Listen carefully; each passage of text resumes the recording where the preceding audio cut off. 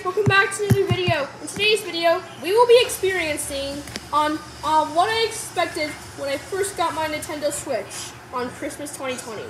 Yep. When I first got it, it came in with uh, with this, this, this. Well, my dad bought the Pro Controller along with Super Mario Odyssey. But it did came with this Joy-Con.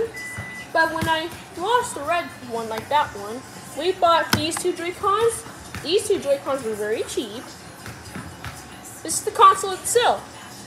This is how it works. This is what the game I was working on.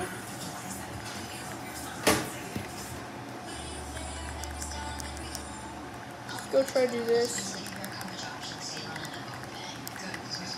Please, please, please, please. Work, please, work, please. I need you.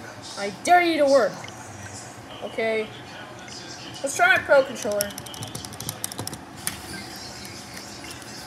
Test this out. Yep.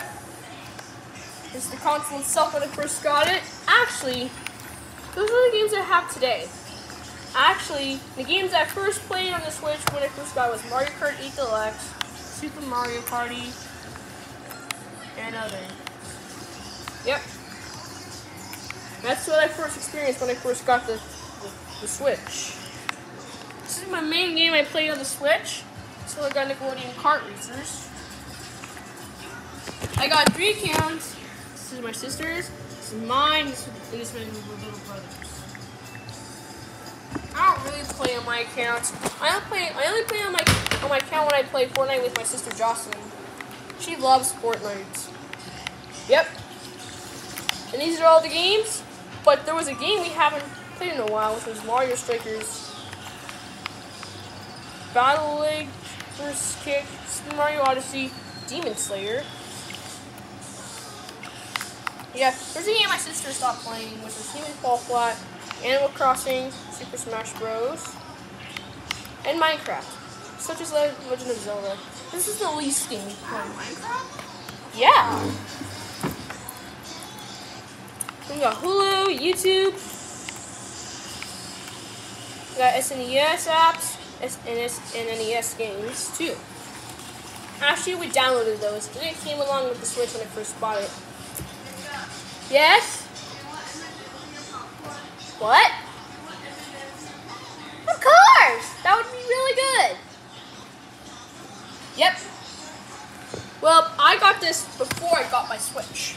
Yeah. And and those are the recent games I bought. I have four games in here where my Xbox is. Yeah. And there's a bunch of games I have. Thanks, Joss. She's just putting M&M's in my popcorn. Tastes a lot good. A lot better than normal. Well, I got this on my birthday. I got this like a couple days ago, like two or three days ago. It's like brand new. Yep. The games are in there. And that's how I experienced when I first got my Nintendo Switch on December 25th, 2020. But y'all, that's it for this video, y'all. Thank you for watching this video. Oh, excuse me. If you enjoyed this video, don't forget to smash the like button and subscribe. Don't forget to leave comment, turn notifications. And see you in my next video. Bye-bye!